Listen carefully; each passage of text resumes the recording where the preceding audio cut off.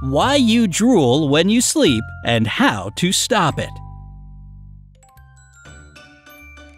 Drooling might be alright when a baby does it, but when it comes to adults, waking up in a puddle of your own spit can be annoying and quite embarrassing, especially if you don't sleep alone. Oh, we've all drooled on our pillow at one point or another. But if you've found that your drooling has become excessive, keep on watching to learn how you can stop it once and for all. And don't forget to click the subscribe button and turn on post notifications to join us on the bright side.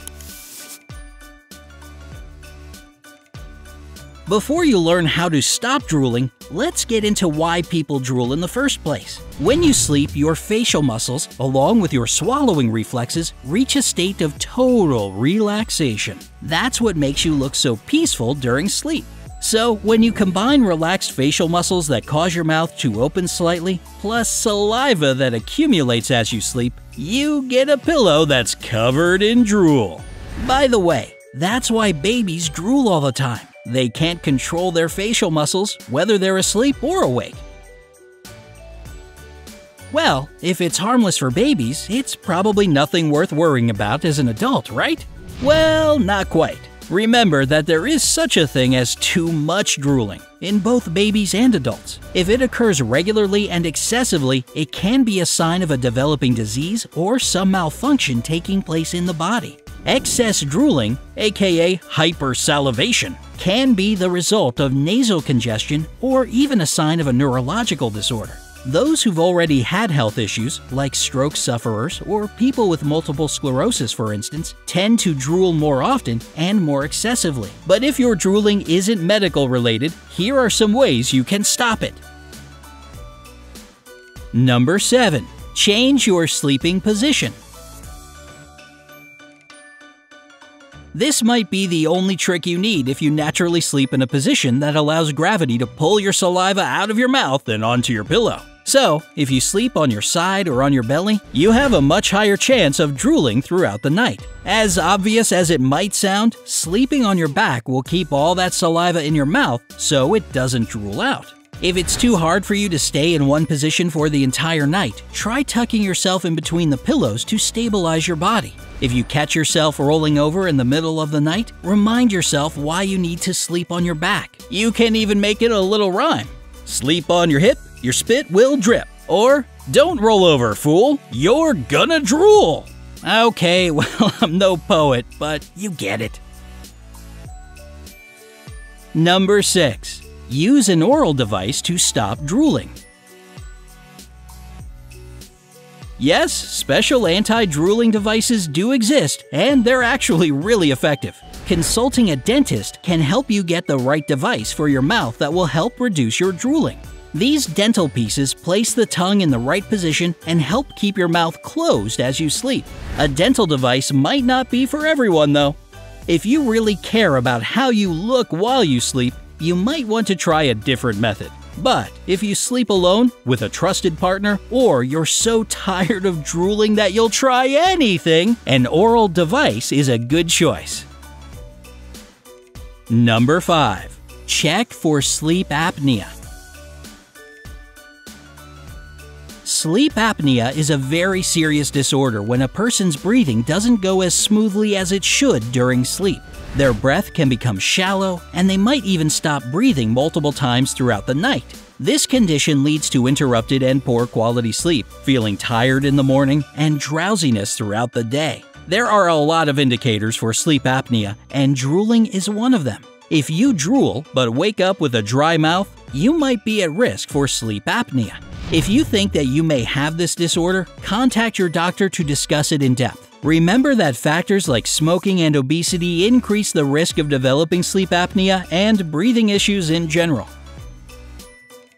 Number 4. Make sure your medicine isn't causing the problem.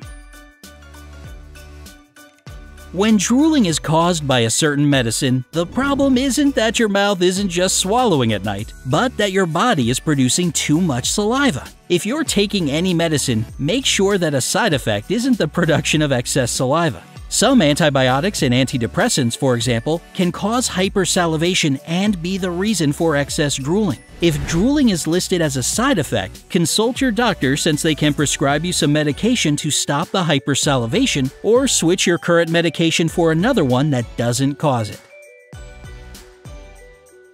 Number 3. Keep your head up.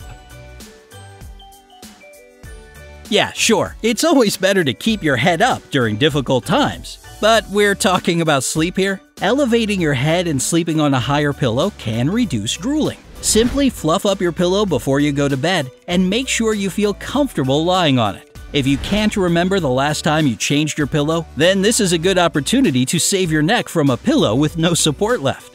A good pillow that will keep your head up and keep you from rolling over onto your side or stomach is a wedge pillow. If you've never had or seen one, they can look a bit strange at first glance, but don't worry, that doorstopper look will grow on you, especially if it means not waking up in a puddle of saliva anymore. Number 2. Check if the issue is neurological. If the issue is neurological and the neurological cause has been treated, your doctor can prescribe you a special oral medicine or a medicated patch to treat your saliva problem. This wearable patch contains scopolamine, which will reroute the nerve impulses before they connect with the salivary glands, thus preventing drooling. Sometimes, in very drastic cases, doctors might recommend getting surgery to remove the glands. This usually happens when there are serious neurological issues hiding behind hypersalivation. Number 1. Clear your sinuses. One of the main causes of drooling is a blocked nose. When your nose won't allow any air in, you breathe through your mouth and drooling ensues. Cleaning and unblocking your nasal sinuses could be a simple and effective way out of sleeping on a wet pillow every night. It could be as easy as blowing your nose before you head to bed. But other factors, like your country's climate and the dryness and humidity levels in your home, can also play a role in stuffing up your nose. So, here are some more ways you can unclog your sinuses. A hot shower close to bedtime will clear the nose and allow normal breathing at night. Make sure that it's steamy enough to do the trick. Essential oils, particularly ones containing eucalyptus, will help you breathe more freely and get better sleep. Putting the oil inside a diffuser will disperse the scent throughout the entire room. Use over-the-counter medicine that helps clear sinuses. Something like Vicks VapoRub will unclog your nose and allow for better airflow. If the climate where you live is very dry, install a humidifier in your room. A good way to check the dryness in your room is to get a humidity meter. They can be purchased online or from pretty much any pharmacy. Make sure you treat any nasal infection as soon as it appears. Having a sinus infection will make your nasal passages swell up, forcing you to breathe through your mouth. As you know by now, that usually equals nighttime drooling. Follow these recommendations to sleep soundly and wake up to fresh, dry pillows each and every morning. Which of these tips are you going to try? Let us know in the comments below. Don't forget to give this video a like, share it with your friends, and click subscribe to stay on the bright side of life.